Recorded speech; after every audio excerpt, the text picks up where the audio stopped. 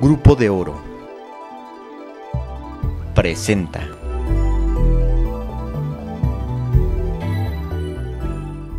Los primeros 10 años del Festival Internacional de Cine de Morelia se festejarán del 3 al 11 de octubre en la capital michoacana. El largometraje No, que se estrenó a nivel mundial en el Festival de Cine de Cannes del presente año, será la que engalane la ceremonia de apertura, creación del director chileno Pablo Larraín, que fue basada en la obra de teatro del escritor Antonio Scarmete, la cual contará con la presencia del actor y director mexicano Gael García, en la que participa como protagonista. Como invitada especial se contará con la presencia de la directora inglesa Sally Porter, mientras que el oxiso cinematógrafo michoacano José Ortiz Ramos será el homenajeado de la presente edición. Se llevará a cabo del 3 al 11 de noviembre.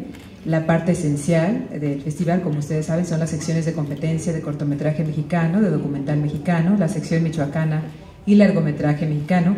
Este año la participación será de 45 cortometrajes, 25 documentales, 12 obras michoacanas y nueve largometrajes de cineastas de distintos estados de la República Mexicana, como son Oaxaca, Baja California, Veracruz, Guanajuato, Morelos, Zacatecas, por supuesto Michoacán y el Distrito Federal. A pesar de los hechos violentos ocurridos en días recientes en el estado, Cuauhtémoc Cárdenas, vicepresidente del Festival Internacional de Cine de Morelia, comentó.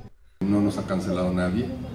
Eh, no es ni de lejos el momento más difícil por el que ha pasado el festival. Este es un asunto que yo supongo se resolverá y se resolverá en paz y se resolverá a tiempo, ese es nuestro deseo. Eh, no, no, no, no tenemos este, ningún ninguna medida especial, no tenemos ninguna cancelación, no tenemos nosotros, por lo menos de parte del festival, ninguna preocupación de que el festival no pueda llevarse a cabo.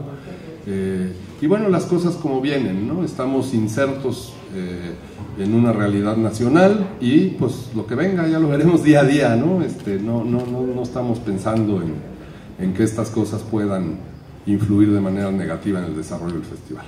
Por su parte, el titular de la Secretaría de Turismo, Roberto Monroy García, precisó al respecto. Comentaba que es, eh, va a ser más complicado porque justamente, regularmente el Festival de Cine era en octubre. Y ahora que coincide además con, este puente, yo te diría ya hasta que pasemos, porque si nos reporta ya Pátzcuaro el 100%, Pátzcuaro, las habitaciones y hostales, incluso en Santa Fe de la Laguna, en Quiroga, ya el 100% hasta los hostales, bueno, pues va a ser un, una semana muy buena para Michoacán aguantaría que los hoteleros dieran cifras para no quitarles esa posibilidad que nos va a quedar hermano. Con imágenes de Víctor Saldaña e información de Atsiri Macías, Agencia Cuadratín.